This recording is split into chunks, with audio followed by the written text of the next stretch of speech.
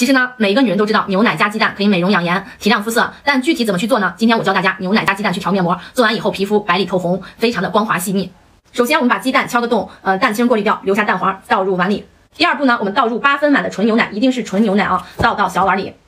接下来呢，我们再加入两勺的软膜粉啊，两满勺就 OK 了。这个软膜粉呢，它不仅可以让我们的皮肤去清洁我们的毛孔，它还可以去平衡水油，改善粗糙，补水，让皮肤光滑细腻。然后呢，我们就开始搅拌啊，顺时针一个方向的去搅拌，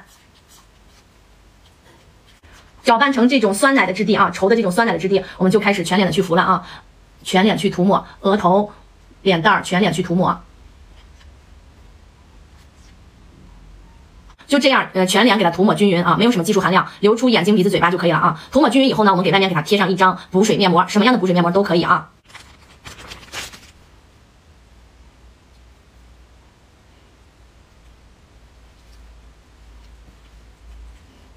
好，我们现在完全的这个面膜把我们的软膜粉包裹住了啊，嗯，然后我们嗯包上十五分钟，贴上十五分钟之后，我们再取下来看效果啊。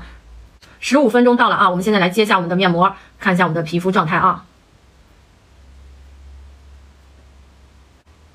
来，我们现在看一下我们的皮肤状态啊，又水润又透亮的啊。然后我们做完之后呢，皮肤是又水润又透亮，特别的有光泽，而且特别的干净细腻啊。